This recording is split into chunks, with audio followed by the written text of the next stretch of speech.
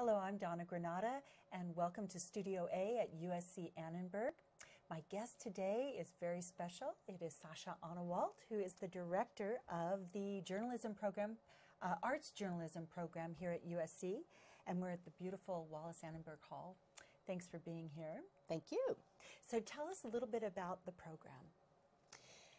It's an arts journalism program that's in its eighth year. We're at based in Los Angeles. The center of what we do, there are 11 students on average. It's a very intimate one on one experience and uh, profoundly believes in putting artists at the center of all of our work. And the kind of journalism we do, we make journalism. We put it out on Ampersand, which is a long form online magazine, and really, the charge to everybody who is part of Ampersand and is part of this program is to make arts journalism that you yourself would want to read or watch or hear.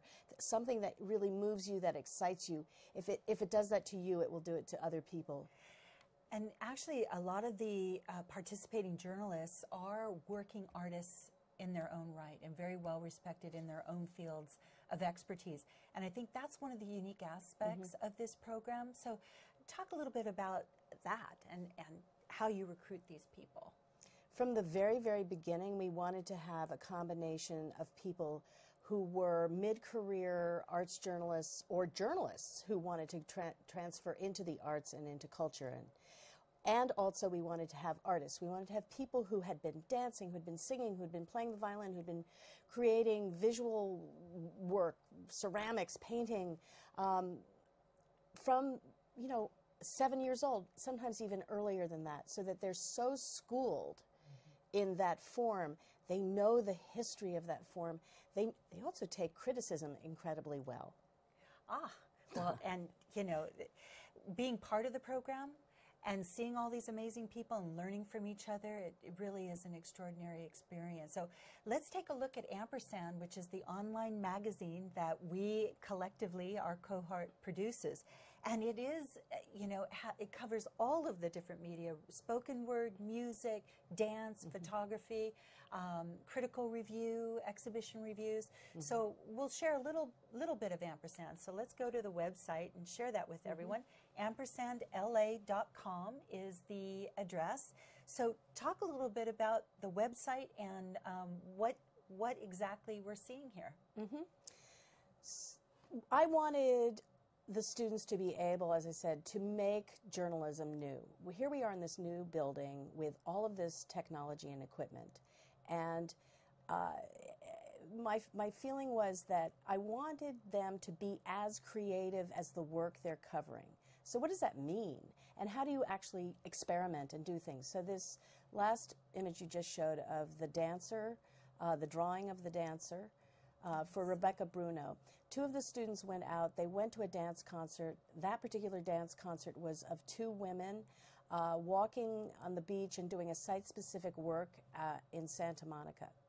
The two students responded to the work by taking photographs of the dancers and then they came back to our studio at the Media Center in Wallis Annenberg Hall, and they, one of them, Jonathan Shiflett, drew, transformed these photos into archaeological tiles. Uh, they felt very much that this choreographer was doing something that was archaeological. Then, if you click, they made it an interactive piece so that if you click on each one of the tiles, you'll get a a, brief bit of audio. If you click on the audio, you'll hear the choreographer talking about that particular work. Shoreline. We call it shoreline, but it's a series of gestures that Samantha and I do mirroring each other that presents, again, this same idea of flowing out and flowing in. So you know, you see, you, she, uh, Laura Altunian caught her saying mirroring each other. They put the photo, and there's two dancers who are mirroring each other. And my feeling was, I now know what that dance looked like and felt like. It's a record of that dance. In many ways, it is a form of dance criticism in the sense that they never would have made that piece if they didn't have love the work they saw Absolutely. and want to reflect it.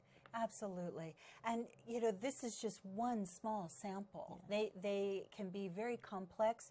Um, we'll share one more. Um, maybe we'll take a look at uh, hopscotch, which is quite a cultural phenomenon here in Los Angeles.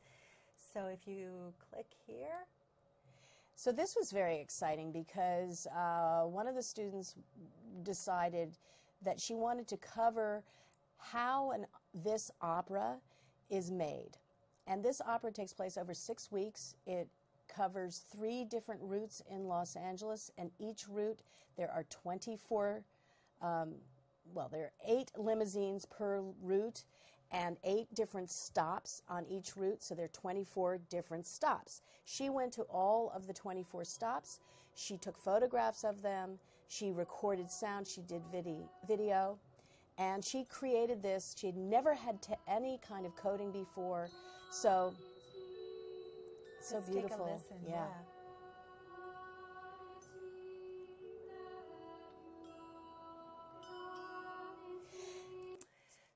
Traveling with these uh, musicians in these vehicles and then stopping in different places in Los Angeles and uh, singers coming out from the community and engaging. uh, It, it really has been a cultural phenomenon. And as a student, watching all of this and, and watching our fellow students covering it and getting the exposure that they had, it really was a great example of how extraordinary this program is. And it's, it's really a credit to you. Oh, thank you.